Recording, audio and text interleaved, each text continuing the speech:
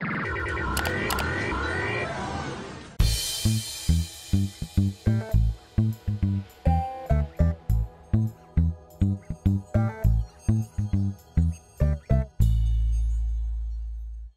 pessoal, tudo em cima aqui é o Yuri, se você é novo por aqui, seja muito bem-vindo ao canal onde os jogos e videogames são levados a sério. E antes de a gente começar qualquer coisa aqui, galera, eu gostaria de agradecer a vocês, meus inscritos e também quem não é inscrito, que tá chegando agora, enfim, por dar esse apoio ao canal, porque esse mês teve um crescimento bacana, porém dá pra gente crescer ainda mais, galera. Então, por gentileza, se não for incômodo, compartilhe o canal para os seus amigos, se você gosta do canal, compartilhe, porque é assim que o canal vai crescer. Imagine, quando a gente chegar com 100 mil inscritos, como que vai estar tá a qualidade do canal, né? Lembrando que crescimento igual a qualidade. E é assim que a gente vai crescendo. Então, para você compartilhar é muito simples, galera. Só você clicar aí no botão de gostar e depois você vai abrir diretamente a opção de compartilhar. E aí é só você clicar lá em compartilhar nas suas redes sociais, tá bom? E também adicione a aplicação do Super Bitword ao seu navegador e você não perde mais nenhuma novidade no canal, tá bom? E agora, galera, falando sobre jogos, né, que é o, o assunto desse vídeo, eu quero falar sobre os jogos brasileiros na Steam.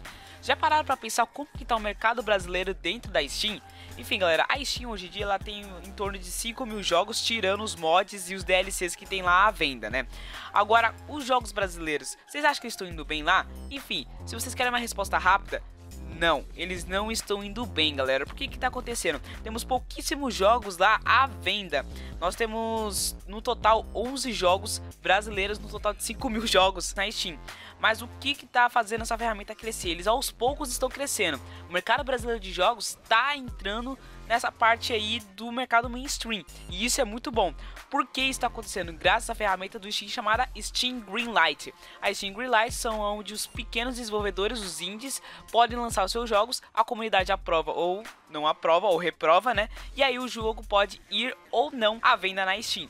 E essa ferramenta está ajudando muitos brasileiros. Nós já podemos contar aí, nós temos muitos jogos que estão tentando entrar pelo serviço. São em torno aí de 20 jogos que estão tentando entrar lá na Steam pelo Greenlight. Então assim, galera, por que eu tô fazendo esse jogo? Porque esse jogo, por que eu tô fazendo esse vídeo? Porque tem muitos jogos brasileiros que são bons, galera. Um exemplo disso é esse jogo que tá rodando gameplay de fundo, que chama Dungeon Land. É um jogo brasileiro e, cara, é, tem um gráfico legal, tem uma proposta interessante e, enfim, poucas pessoas conhecem.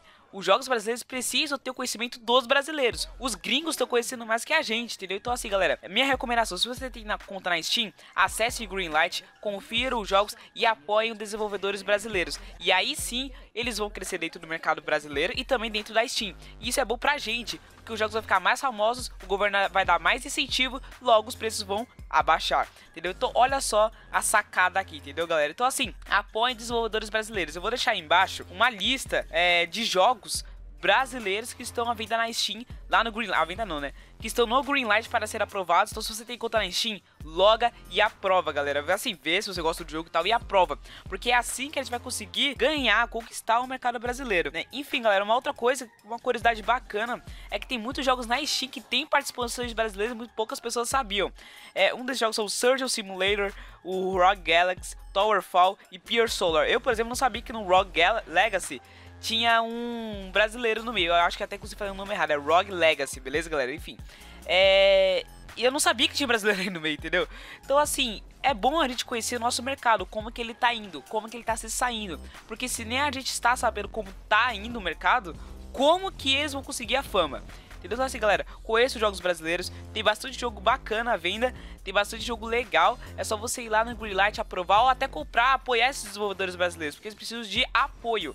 Porque são poucos que conseguem fazer jogos bons. Os poucos que conseguem não conseguem fama. Então, bora apoiar os brasileiros, porque essa é a ideia do vídeo. A ideia do vídeo é você apoiar os brasileiros. Nós temos que nos apoiar pra gente conseguir o mercado internacional, tá bom? Então, galera, essa foi a nossa situação aí na Steam. Espero que vocês compartilhem esse vídeo, que vocês apoiem realmente os brasileiros, porque nós precisamos disso. Muitos desenvolvedores são desconhecidos por causa disso, porque não tem apoio, porque não, eles desistem do projeto deles porque não tem apoio. Então vamos, vamos apoiar, vamos dar força total para eles.